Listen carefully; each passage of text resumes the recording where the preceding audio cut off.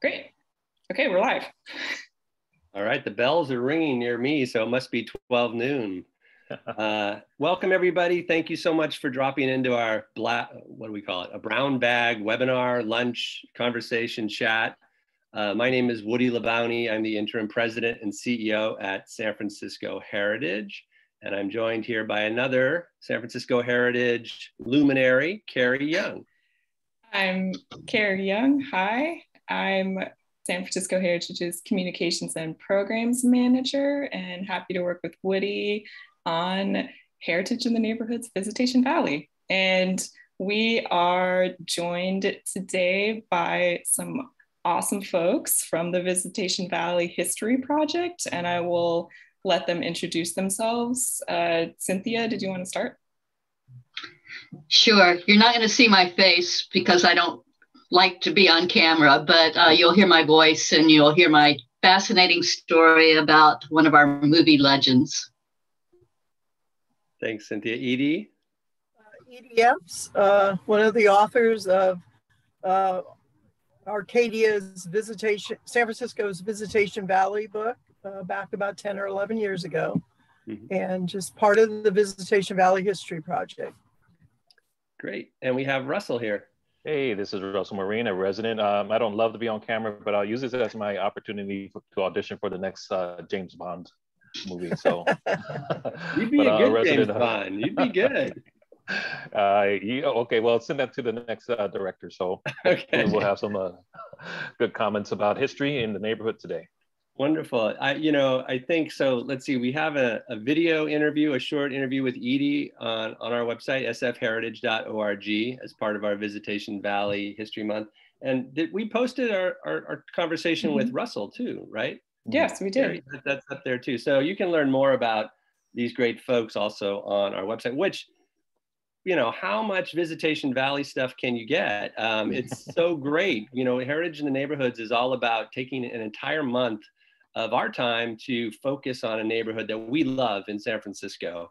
And we particularly love Visitacion Valley. Um, uh, for me, I just love talking about neighborhoods that even longtime San Franciscans just aren't as familiar with as they should be. And Visitacion Valley totally fills the bill. So we're going to talk, I'm going to show just a little slideshow here, uh, overview of what we've done this month and some of the highlights and things that have jumped out to me that um, I thought were just particularly great this month uh, working with people in Visitacion Valley. And all you folks here um, on the panel, you might call us, uh, feel free to chime in at any point and uh, share your own thoughts. So let's see if I can get our presentation going here. One sec. All right, can you all see that? Yes. So as I said, Heritage in Neighborhoods is a program we started about a year ago, maybe a little more, um, where we go to different neighborhoods for an entire month. And we try to just like put all our focus on um, the neighborhood every day, uh, at least every weekday. So some of the things we talked about about Visitacion Valley this month um, are things like from the very beginning, the stories and the lore, such as the famous rock, mm-hmm. which um, goes back to the uh, story of the Spanish uh, colonial party coming up in the 1770s and having a Catholic mass on that rock. Uh, that story seems to have kind of come up in, the early 20th century, but the rock, no matter if you believe the story or not, is definitely still there.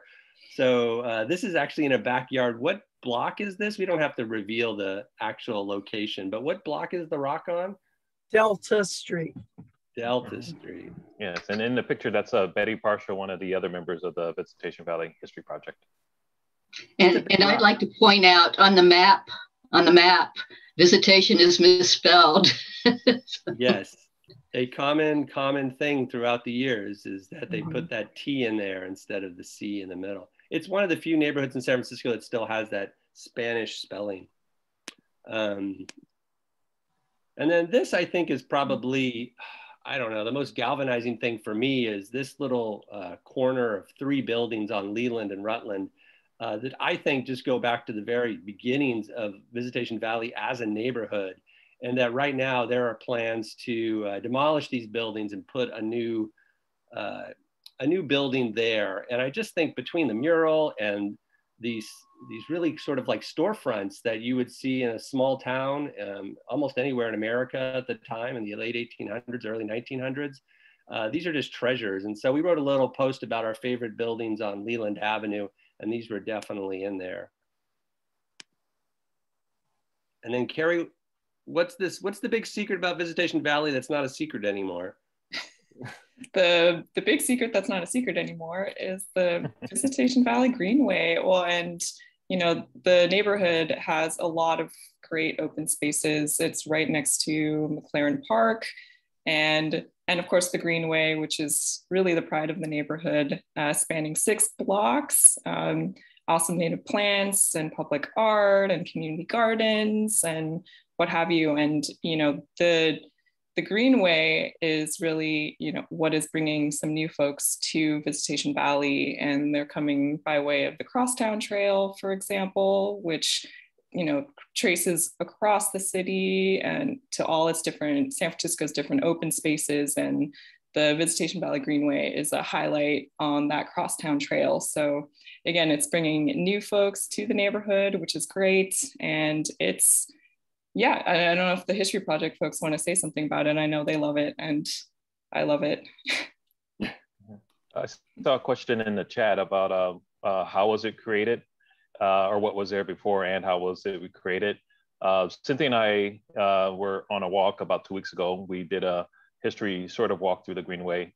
Um, so how it was created was really just neighborhood advocacy over many, many years. Um, but I think the more interesting question is why are they there? Why were, are these six uh, lots over several blocks um, never built upon? And Cynthia, maybe you can chime in on that. Um, they were they were water lots. There were water lines un, underneath them, and they were just fenced off and and uh, filled with weeds, and you know of no use to anybody, I guess, except for the water department.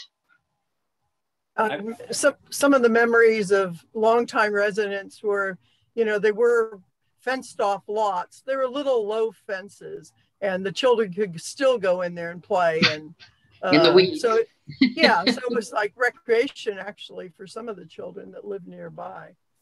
And we've heard um, that some were used for victory gardens during uh, WW2. Um, and also just, you know, I think at least I learned over the last two weeks that it's they're not owned by the Rec and Park. Rec and Park manages them, but they're still owned by the water department. Mm-hmm. And apparently, the water lines aren't are no longer underneath it, which we didn't know until we did this walk. Mm-hmm. But but they are still owned by the water department. Yeah, and one of the, the original persons uh, who advocated for it, Ann Seaman, and that that was one of her points that you know now that those water lines are no longer there, they were in danger of being sold for development. So the neighborhood advocacy did actually save it from being built out for, uh, they would have been sold off for as surplus property from uh, the water department. They're definitely the sort of tourist attraction. If you get tourists to Visitacion Valley, I feel like the Greenway has done it. And also just shows up the incredible weather that I think um, people maybe aren't aware of that Visitacion Valley has. It's just wonderful to walk through the Greenway and you get so much sunshine. well, and then I think, you know, Carrie and I, we often talk about this at Heritage that what people love more than anything else is a mystery. So mm-hmm. we talked about uh, Visitacion Valleys. Well, we I don't know if we call it the mystery house, like one of those Oregon, you know, vertigo things, but it definitely was um, a mystery for the Visitacion Valley History Project. And are we any closer? Well, Carrie, maybe tell us what the mystery was, and maybe the Visitacion Valley folks can tell us if there's any solution to the mystery. Sure. This is a house at 2 Hahn Street in Visitacion Valley. And it's a house that the History Project folks have been researching for a long time. And, you know, they they found out that it was previously owned by you know a few sisters we're still figuring out if that's the case and you know it's it's such a of a different design you know an earlier design that is um, an anomaly of the uh, you know the other houses in that area where it is and so you know they figured it must have been moved from somewhere else but where was it moved from and it's also kind of oddly set on the lot and maybe was cut in half. So there are all these different questions about the house, how it got there, who moved it, why they moved it. And so we wrote a history mystery post about it and we actually got a little closer thanks to a David Gallagher who was here watching. Yeah. So I, what I loved was the house was owned by. This is the story, and I love the stories even if they're not true. Which was the house was owned by sisters, and then there was some settlement of the estate, and they split the house up. Right, one sister took part of the house, another moved another part of the house. Well, the somewhere. part of the story too was that they loved their childhood home so much, right, that they didn't want to part with it, and so they split it up in different pieces so they could yeah. each have a piece of their home. That was part of the story. Right. Yeah. But what do we think actually is going on now, uh, Visitacion Valley folks? Do we have any, are we any closer? Well, uh, we do have the location of the original house, thanks to David Gallagher again. And, um, but we don't know really where that second half of the building or the top half, oh, we're not sure. Is it the top or the bottom? I think it would have been you, the top. It's more like the Winchester Mystery House because when you do enter through the front door there, uh, you go up about maybe five stairs, you open the door, and there's the a finished floor, like a ballroom floor, and uh, you know uh, what would be the attic, but it really is another floor should be there. Mm-hmm. So um, you know we'll have to keep looking for that other story of the yeah, house. and I think yeah, the photo that David Gallagher found. I mean, that was just sort of the the confluence of perfect, uh, like you said, a perfect storm of research, and uh, was on 23rd Street, um, right right where the 101 was built. So clearly, it had to move or be demolished. So um, that kind of confirms that it was moved. We knew it was sort of moved just by the way it was designed, but the location of the house that uh, David found right where the freeway is now. And it would have been an easy shot from that location down here because they were building out the freeway. So moving it that far was plausible at the time. And I think we 50s, late 50s, early 50s that it was moved. Um, the, the sister's story, you know, we did some research into the family and it's possible. I mean, there was a uh, part of the story was that the sisters owned a dress shop or there was a three sisters dress shop. We couldn't confirm that, but the family we think was in the fashion business, one of the family members. Um, and it could have been just over the years that the, someone in the family who was in the fashion business got turned around and said, well, sisters owned a fashion store, or a dress store. So we're still trying to put all the pieces yeah. together. Yeah. I guess we should make a pitch here since David found it. You know, uh, Open SF History is this large collection of historical San Francisco photos, and you can go to opensfhistory.org. Mm-hmm. And there's photos that uh, the Western Neighborhoods Project has scanned for that site that are unidentified, that people just didn't know, you know, where is this? We know it's San Francisco. And so it was a long time unidentified photo that David was trying to figure out you know, he could recognize a building, or recognize that it was San Francisco, and there had a this, this distinctive building in the photo. And then the history mystery comes up while he's looking for that same uh, identification, and they totally went together. He said that building's the same as this building. um, it was just a great uh, coincidence, almost kind of an amazing coincidence, but it was a great reason to have Visitacion Valley Month to have little mysteries maybe get closer to being solved. Yeah, and I, I, personally, I mean, I, I don't know if my uh, history colleagues agree with this, but I don't think the other part is still there. It, it's still out there. I think the top, just to me, like when you cut that building off, I don't know how they would have saved the top. I mean, that's just looking at it like, how did they do that? Even today, that would have been difficult, but that, that's just my theory on it. But I, it was cut, but I don't believe the top part is still there. But I hope maybe we'll find it. But yeah. Well, we think this only happened in the 50s. So if you're watching this and you have some memory or know, please reach out and we'd like to learn more about the story. So, um, and then I think a thing that made uh, Visitacion Valley History Month different and more special in some ways than the other history months we've done is we got to do some very personal interviews with residents of Visitacion Valley and uh, and mm-hmm. do little videos that you know like Edie you did. So Carrie, who is this? This is uh, resident Selena Lowe. She's currently a social worker that lives in Visitacion Valley. She's lived there her whole life.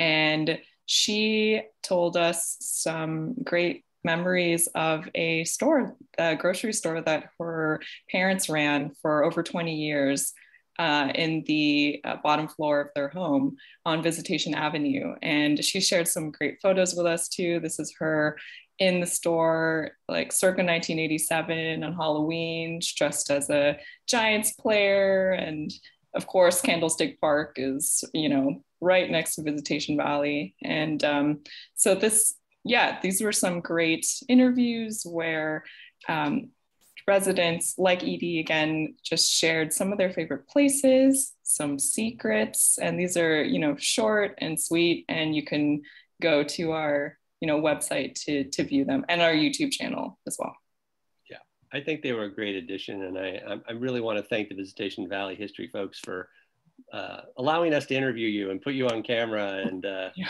and with russell we we gave you kind of a deep q&a so thank you guys for doing that Mm-hmm. Um, we talked about, you know, this is the other thing, you know, when I talk to somebody from San Francisco and I say, what do you know about Visitacion Valley? Well, A, do they know Visitacion Valley exists? That's yeah. the start. but if they do know it exists, like what, what do they know about it? And many people who didn't grow up anywhere, say in the Southeast part of town, they might have these just very negative memories of what they've heard about Visitacion Valley. And that includes Sunnydale and um, the housing projects and the Geneva Towers. And so, you know, a big part of what we try to do is in talking about a neighborhood is, you know, there's, you might not know anything about it, and then you might know just kind of the wrong things about it, right? There's so much more to a neighborhood than what you might read in the newspaper. And so we, we kind of went a little deeper into Sunnydale a bit and Geneva Towers, which a very interesting story and a lot of memories for people who remember what happened to the towers uh, eventually. And uh, Edie, what happened to the towers? Tell us a little bit. Do you know anything about Geneva Towers? uh, well, a little did bit. You ask, oh, did you ask me or any of you? T- tell us a okay. little bit about Geneva Towers.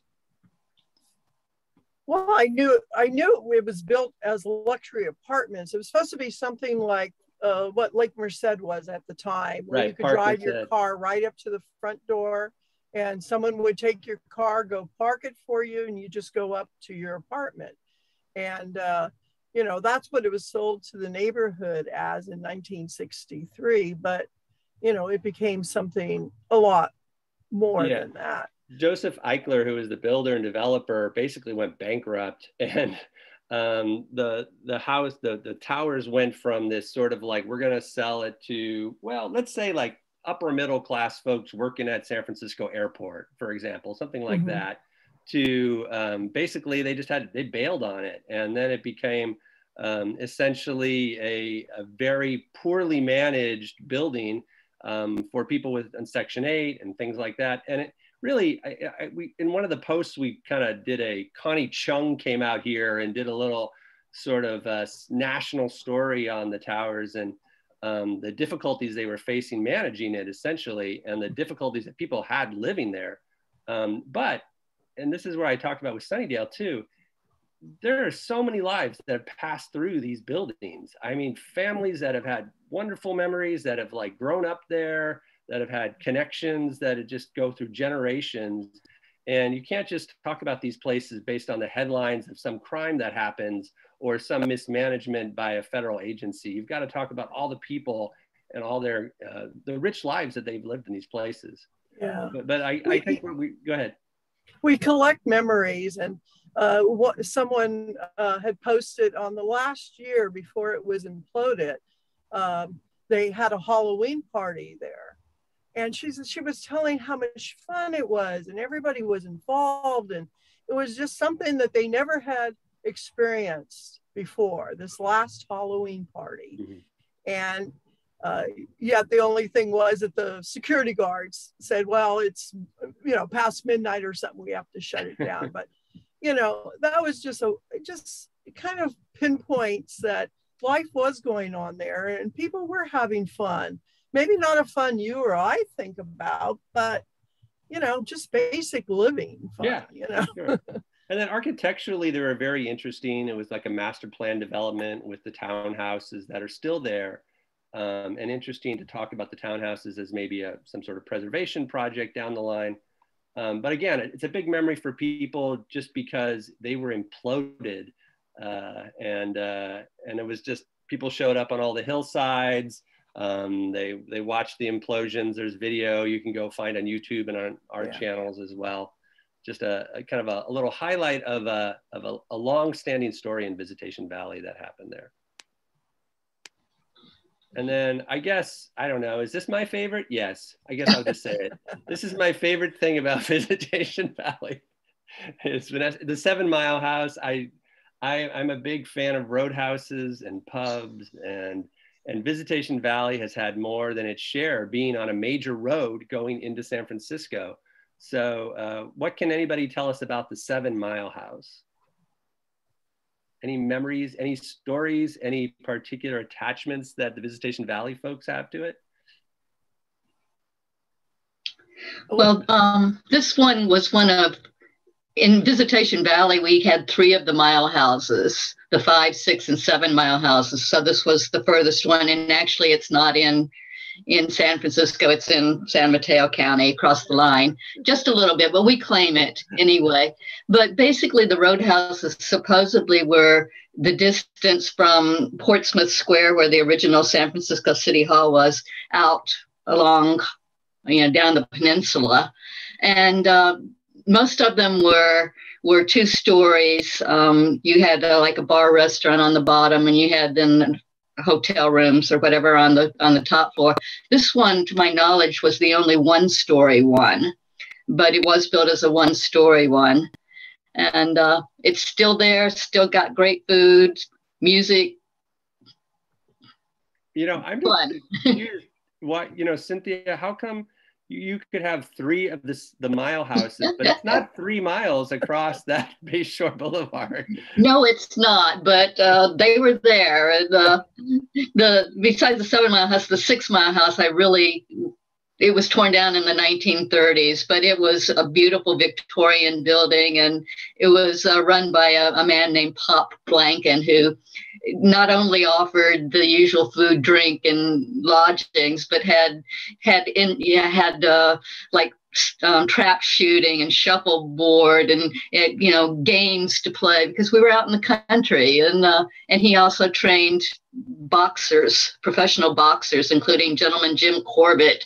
So um, that one was torn down in the 30s the five mile house the original one the facade's still there and has apartments in the back.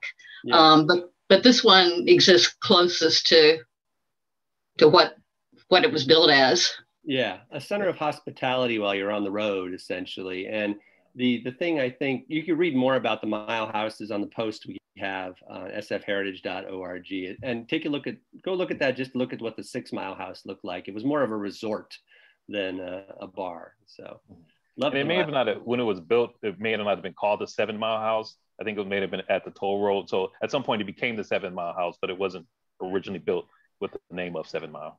Yeah, I think one reason it's one story is I think it was the little toll house is what it grew out of. Um, you had to pay toll on a toll road to go through. So, um, and then I, we talked a little bit about this during the month, but maybe we can go in a little more in depth about Visitacion Valley's role in some early movie making history. So, um, Cynthia, can you see the screen? Can you tell us what yes. we're looking at? Okay, first of all, I moved I moved to Visitacion Valley in 1998 and on my block, down the block, there was a woman named Alma Taylor. And she had been born in 1911 in Visitacion Valley, loved the valley, loved its history, and started sharing her stories with me. One of her stories was about when she was born in 1911, but she remembered as a girl going down to the Bayshore Hotel, which is pictured here, um, as it is today. But she went down because a famous silent film movie star was coming to town to film in this location. So she went down with the other neighborhood folks. They went down to Hub Nutter's store, which would be on the, the ground floor here, to watch the filming. Alma originally remembered it, and she was in her 80s when she was telling me this, but she thought it was called Four Nights in a Bar Room and there was no four nights in a bar room, but there was a 10 nights in the bar room.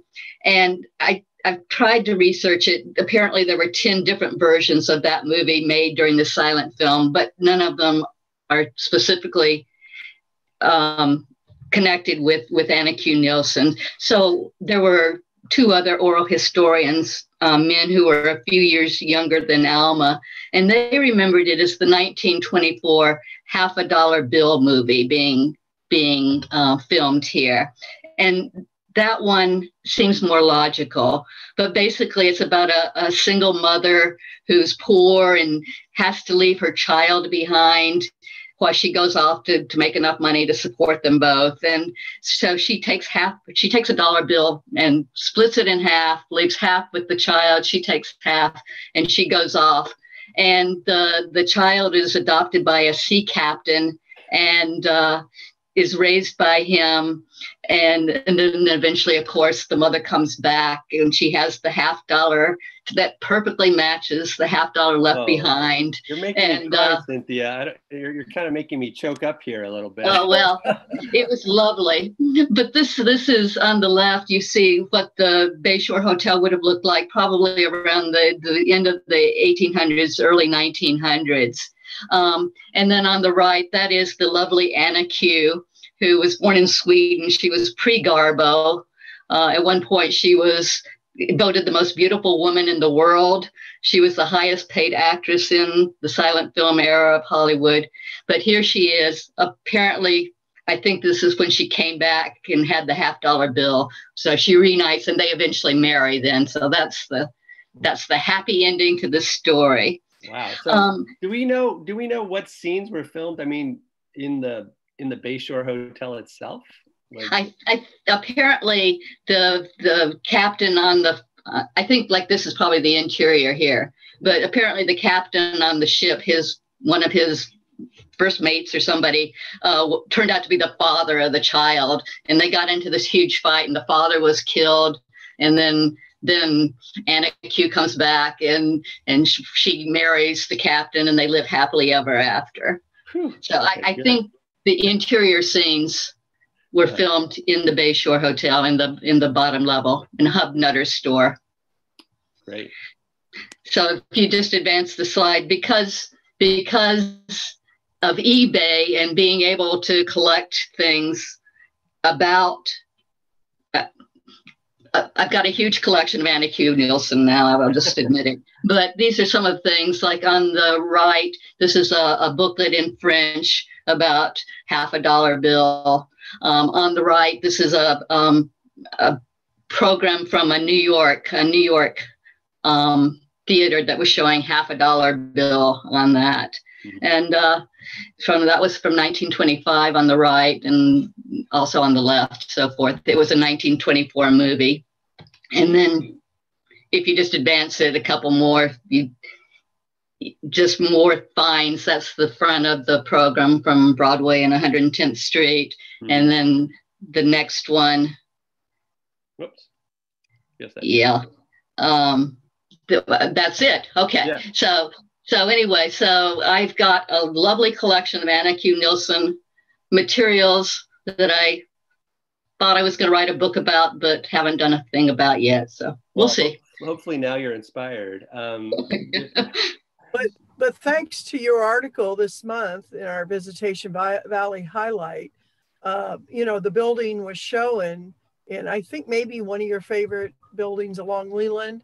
And now we have an interview coming up next week with uh, the original family, the Nutter family, uh, that own that building, and they say they have some pictures to share with us and stories. And oh, great! So that's just, I think that's one of our bigger, biggest find.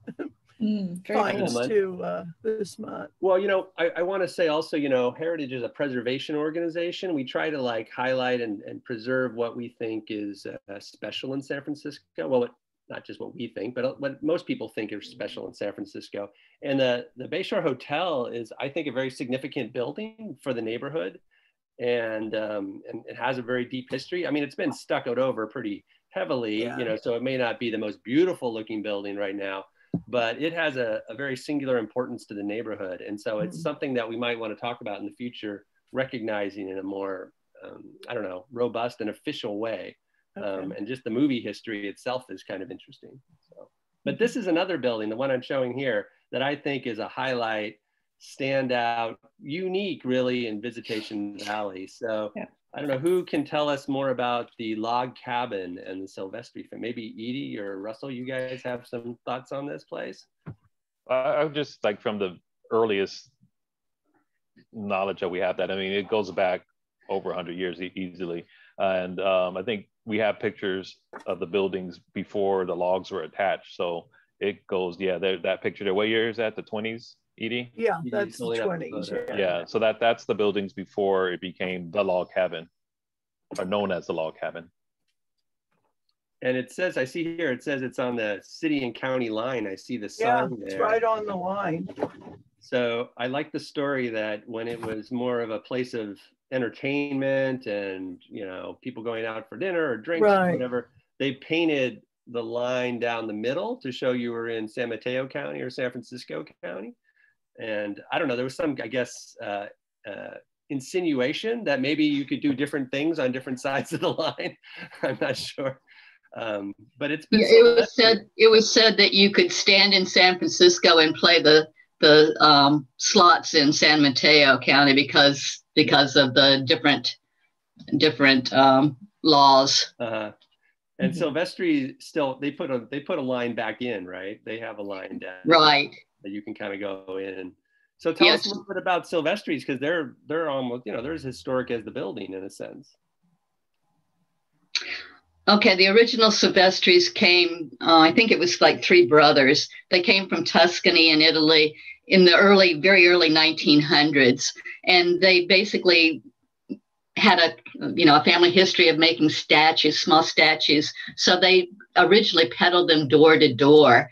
And they were especially famous for their Cupid dolls that they sold door to door. Um, but then the, the Depression came along and they went back to Tuscany until the 1950s when some of the descendants of the, the first group came back to San Francisco. They set up a, an actual show showroom or an actual factory over in Glen Park. But then BART was going to build the Glen Glen Park station on their land, so they lost it to eminent domain, and um, so they bought the property here mm-hmm. and uh, have been, that's why it says since 1956, that, that they've been in the valley since 1956. So giant pots, urns, fountains, statuary, landscaping elements, things like that is their stock and trade, right? Yes. Yeah. The do-it-yourself shows really brought a lot of cameras to this location. Well, it was right across the street, but to Silvestri's uh, because people had to go pick out, you know, their backyard mm-hmm. fountains mm-hmm. and what have you, which were highlighted on these uh, television shows. Uh, but one of the things I like to say is we did have a Visitacion Valley History Project had a presentation at the log cabin uh, back a few years ago, and it was really well attended by the Victorian Alliance uh, people. And uh, one of the gentlemen there, he thought, gee, did those logs come from there at the 1915 fair? Uh, the Woodmen of the World had a, a, building and it incorporated a lot of logs. And we did have one of the top Woodmen of the World um, uh, char- uh, chapters here in yeah. Visitacion Valley. Mm-hmm. And so that's the one of the little mysteries I like to follow to see or try to find out more information. How did we get the logs? because right. as Sandra, who owns the uh, building, says, they have to go in there and trim the interior because it's still grows moss. okay. so right yeah, it, it's really if you get a chance, stop by and take a look at the building. I yeah, think I think really it's be great, fascinated. It's yeah. a great highlight just because it's an unusual building. It's pretty unique in San Francisco. It, it has its mm-hmm. own little mysteries about it, but also um, with the Silvestri business in there, which definitely qualifies as a legacy business. We talk about legacy businesses all the time. Um, you know, you can pretty much walk through the whole thing and really kind of get the ambiance and the feel of the place um, with uh, the Silvestri company in there. So another great building. And then. But speaking this. of um, significant, yeah. you know, a significant restaurant in the life, you know, of the life of the log cabin was uh, George's log cabin. And, you know, Cynthia, you wrote a whole post about, you know, its long history and George's is, mm-hmm. uh, you know, a notable part of that. And so can you, yeah, tell us about this really cool music flyer that you found and how you found it. Okay. So this was another, this was another eBay find a few years ago. Um, and I had one person bidding against me, and I ended up having to pay a lot more than I wanted to, but I got it. Um, so George's Log Cabin is this is about 1969 poster, and it it started as Sam's Lodge in the late 20s, 30s, and that was when we had the the rowdiness um, with the the line the San Francisco San Mateo line, and then it became a refined uh, Chinese American place called George's Log Cabin, and then then in the '60s it became a music venue. So you had different names for it, but in this 1969 one, they've gone back to George's Log Cabin, and this is um, this was the program from from June of 1969. Um, some of these names you'll recognize. Almond Joy at the top there. That was, an early iteration of the Allman Brothers band.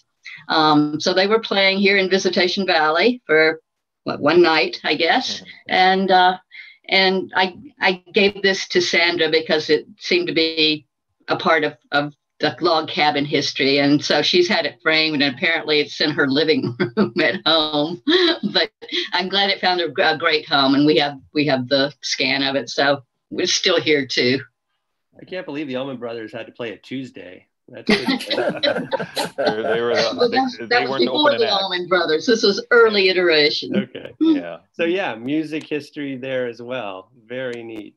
Okay, that yeah, might be the. Uh, just so the the the, uh, the finds on eBay and just how you know there's probably the Cynthia said she's bidding against somebody. They may have been bidding because of the names on the flyer, but we're bidding because it's part of the neighborhood history. And sometimes we have to check with each mm-hmm. other, make sure we're not bidding against each other, so we're we're not running it up. but um, yeah, that, that's kind of how we do collect some of the history, just by going on eBay, you know, finding some great things out there. Mm-hmm.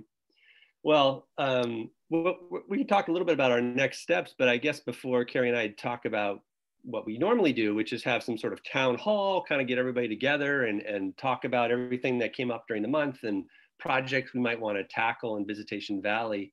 Uh, I'm wondering from you folks, is, is there, what did we miss? Like we couldn't do everything, right? In yeah. the 25 or whatever days we had. Yeah. So what, what are I think we, we kind of missed, we didn't touch on our industry, being that we're in the Southeast section sector of San Francisco and all the industry, American Can, Third Street, and then down to Bayshore, we had Schlage Lock Company, and then we had Southern Pacific Railroad. And we didn't really, yeah, I think we touched on it, but you know, there's a lot more to say about, you know, their efforts during the war and what they really meant to San Francisco. Mm-hmm. So that would just be one thing I would add in uh, that industrial history, mm-hmm. manufacturing any uh, businesses or uh, I don't know cultural things that we might have missed? Um, any particularly great buildings that we should have highlighted? That you know, um, you know, there's a lot. We can't hit it all, so yeah, it'd be good to kind of figure. We need another month. a, a, year, maybe a year. um, I I would like to see more about the churches of, of Visitacion Valley because there's such a variety, and you know, there's the history there with uh, with St. James and Julia Morgan, but also the Church of the Visitation. The the stained glass windows, I think, are a real asset to the neighborhood, and if we I would have liked to have seen that highlighted somehow, or maybe we still can. Um, but but we have like we have the Korean church, we have the the um, the Vietnamese at, at Valley Baptist and so forth. We have the American Indian Church. Um, so so. I love, I love, the American Indian Church. I just think that it's it's almost like made of cinder blocks or something. Yeah. Right. so interesting and unique again as an architectural um, style and in, in the in the way it looks. So yeah, I'm with you, Cynthia. I think we could definitely get more into some of the aspects of the churches. And then Carrie, so what, I think what Russell, I was, Yeah, I was going to say, I think Russell, you, um, something may, maybe we may not have covered as much as is related to something that you wanted to share today, Oh, right? Well, I Oh, yeah, think do one part is um, the garbage company, and um, this is again. I mean, if you can see this, Mhm. this is a report um, written in 1978. So again, this was an eBay find, and it was sort of like what Cynthia that um, this was out there um, for uh, like probably forty dollars, and you know you can make an offer on it. It wasn't really up for auction, so you know we negotiated back and forth. It was the per- it wasn't against anyone, but just the person selling it, and it got down to about fifteen dollars, and it was like, well, this is your last chance to make an offer on it, and I kind of put a note. Well, look, guy, you know. I'm the only person who w- would want this. I want it because I, I, I live in the neighborhood and I used to work at the company. And so he finally sold it to me for 15 bucks. Um, but the garbage company and this report, I mean, the interesting thing about this re- report is that this is when the garbage company was considering putting in an incinerator into the neighborhood to manage garbage. And you know, nowadays, and you, today, you'll probably watch TV and see one of these commercials of Recology and how we rebuilt we built the re, um, recycling system from the scratch. Yeah. In the 70s and 80s, they were thinking about reburning all the garbage in the neighborhood in Visitacion Valley. And just how the garbage company um, has changed the landscape of the city and the neighborhood, Bayview Hill, you know, that whole, those terraces on Bayview Hill because of the garbage company. All, a lot of that land in Brisbane that's um, is reclaimed is San Francisco garbage by the San Francisco Garbage Company Mhm. that's in part of uh, Visitacion Valley. So that's another piece of the history of the neighborhood that uh, we didn't touch on much, but it does shape the landscape and the uh, economics of the city and the neighborhood. sure. Russell, do you know why the, the incinerator didn't happen? Was it, was there public, Brisbane. public outrage or? Yeah, Yeah. public outrage, Brisbane, Little Hollywood. Hopefully Yeah. Brisbane. San Francisco, we had a few people come out to meetings, but Brisbane, they're environmentalists and they just, no way that was going to happen in there. Because that actually was going to be in Brisbane, but Yeah. on the, you know, on the border. It would have been right Yeah. on the, literally right on the border. So, Yeah. Um, but you know, looking at this report, it was also they suggested in Hunters Point.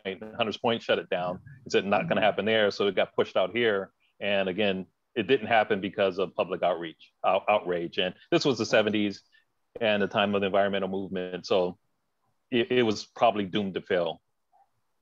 Right. Thank goodness.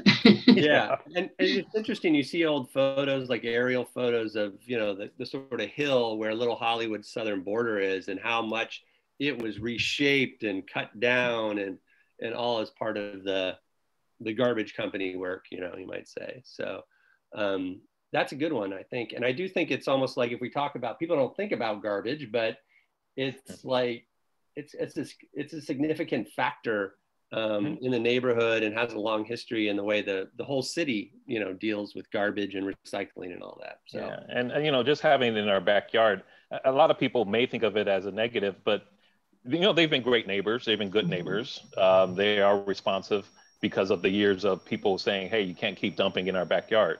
So, yeah, it's not a, it's not something that anybody would want in, in their backyard, but it's here, and they can work with the neighborhood to help all of us, not just San Francisco, but also the neighborhood. right yeah. And, Well, and I'd like, oh, go ahead, Cynthia. now I'd, I'd just like to put a plug in for the, the Recology, the Artist in Residence program, which is a wonderful art program that, that people, some people know about, but a lot of people don't. And uh, that would be something that we could also highlight another time. I do think like I think I was thinking about that too. It's almost like you have one of the best sort of arts programs, gallery, mu- almost museum at times, you know, right there that people don't even know about in the city. Mhm. Uh, very creative and interesting things that artists do on site there. Um, all right, Carrie, what, okay, so we got some good ideas. We've got some projects for sure that we've been talking about. Um, what's the next step, Carrie Young of San Francisco Heritage? What do we do next?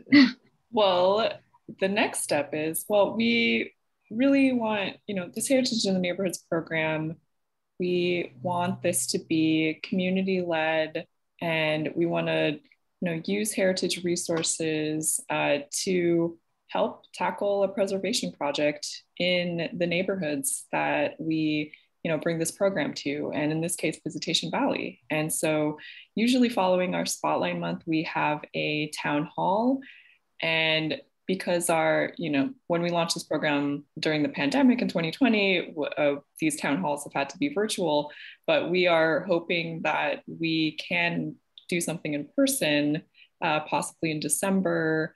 And uh, we'll do this together with the history project folks. And it's really a, a fun community gathering where we can come together talk about the month talk about fun visitacion valley history and just hear from folks about you know what we should tackle and we can pick one preservation project and um, as we've learned from going into other neighborhoods in the city such as the excelsior and the park side it's like every neighborhood is going to you know want something different. You know, there's gonna every neighborhood's gonna have different needs for what they want to tackle. You know, whether that's making you know a legacy business, a, you know, businesses into legacy businesses, or landmarking a building, or what have you. So uh, this is our chance to hear from hear from you uh, about the kinds of things that we we can take on we were kind of thinking i don't know if uh, we've talked to you guys about it but we were kind of thinking maybe we would do an online one like in the middle of a week in the evening just so because some people it's just that's the only way they can participate and then maybe have a follow-up on the weekend where we do a little walk or we meet in a in a place in visitacion valley so that people who are more face to face and want to get out and see some of the neighborhood um, can attend that so kind of maybe a double a twofer town hall is what we were thinking of. So I want to say, you know, I do thank you guys because uh, you did mention how the landmarks are sort of clustered in one part of the city and there are no like landmarks on this side of the city and there are none in Visitacion Valley. And I don't know what's the closest one, maybe the Bayview. Uh, but, uh, you know, Excelsior, maybe do they have one in Portola? But yeah, just the fact that there's a big hole in our um, uh, historic legacy status in that sense that we don't have those landmarks, but there are buildings that would be eligible, but nobody's looking out here. For sure, for sure. Well, I don't think we could have done it without you guys for sure. So I guess Carrie and I just want to thank you. We, we had it kind of easy in a sense that Visitacion Valley A was such a great neighborhood, so interesting, so many interesting stories, and that most people didn't know about it. And B, we had you. We had you to help us just kind of write some of the posts, do the interviews, give us guidance, and really uh, support us on the whole way. So thanks so much to the Visitacion Valley History Project. And um, I guess we'll stay tuned, but I, I, think we're thinking maybe like early December, we'll have our, our next get together if that's okay. Sounds good. Yep, that sounds good. Oh, I think we have one question. Sure. From, on from Facebook. Gia. I'm sorry, if, uh, apologize if I'm saying your name wrong. Uh, are there any plans to connect the Greenway across streets, for instance, with raised crosswalks? Oh, this is from when we were talking about the Greenway. Uh, oh, yeah, a little while back. or something. well, I think um, like uh, colored sidewalks uh, markings, like they have, I think, in the Castro, like with the um, rainbow crossings. I think there actually is uh, discussions on some of that because a lot of the greenways cross mid-block, or some of them at least. Um, there is a pot of money, a pool of money that's sort of uh, impact fees from developments. If we ever get some of the developments uh, off the ground, which we didn't talk about that a little bit on Schlage Lock and that whole development. But once those developments happen, there will be a pot of money that can do small projects like that within the neighborhood. Hmm. Great. Great. Anybody on Facebook ask any questions, Carrie, that we should know about? I don't think so. I think right.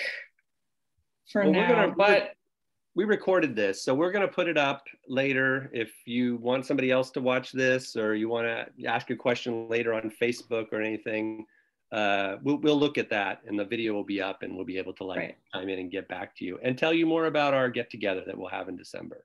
Yeah, and of course, exactly, we'll have our two town hall opportunities for you to come out and talk more with us and ask your questions. So um, just stay tuned for for news about that.